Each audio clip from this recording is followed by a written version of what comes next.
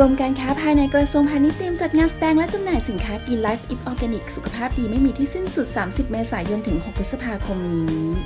งานนี้เรียกได้ว่าเอาใจคนรักสุขภาพค่ะสำหรับงานแสดงและจำหน่ายสินค้าอินทรีย์และธรรมชาติระดับภูมิภาคค่ะ กับงาน Green Life Eat Organic ค่ะ สุขภาพดีไม่มีที่สิ้นสุด งานนี้จัดขึ้นโดยกรมการค้าภายในกระทรวงพาณิชย์ค่ะ ร่วมกับบริษัทเซ็นทรัลพัฒนาจำกัด ชวนประชาชนหันมาดูแลใส่ใจสุขภาพกันค่ะ และร่วมช็อปสินค้าออร์แกนิกมากมายที่เหมาะสมกับไลฟ์สไตล์ของตัวคุณเองค่ะ พร้อมพบกับการแสดงโชว์ต่างๆ มากมายค่ะ และงานนี้เตรียมพบกับการแสดงฝีมือการทำอาหารของพระเอกหนุ่มหล่อเวสกลวัฒน์คณาเลศค่ะ ที่จะมาจัดเมนูออร์แกนิกให้ได้ชิมกันค่ะ งานนี้จัดขึ้นณลานโปรโมชั่นชั้นจีศูนย์การค้าเซ็นทรัลพาซาปิ่นเกล้าค่ะ โดยงานจะจัดขึ้นระหว่างวันที่ 30 เมษายนถึงวันที่ 6 พฤษภาคมนี้ค่ะ ก็เอาเป็นว่างานนี้คนรักสุขภาพห้ามพลาดเด็ดขาดค่ะ